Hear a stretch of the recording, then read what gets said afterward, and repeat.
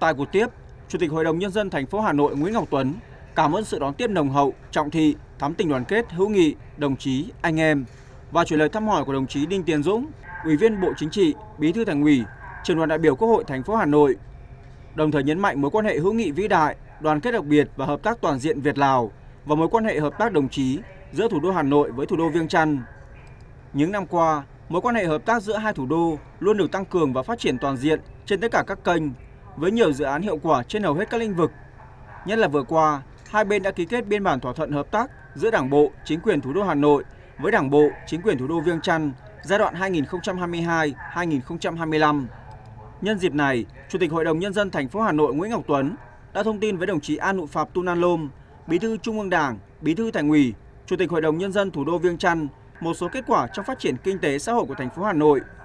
Đồng thời giới thiệu, chia sẻ về tổ chức và hoạt động của Hội đồng nhân dân. Thành phố Hà Nội hoan nghênh việc Hội đồng nhân dân hai thủ đô tiếp tục nghiên cứu, đề xuất triển khai các hình thức trao đổi thông tin, chia sẻ kinh nghiệm trong các mặt công tác. Qua đó học hỏi, giúp đỡ lẫn nhau, nâng cao chất lượng, hiệu lực hiệu quả hoạt động của Hội đồng nhân dân, đóng góp quan trọng vào sự phát triển chung của thủ đô và đất nước.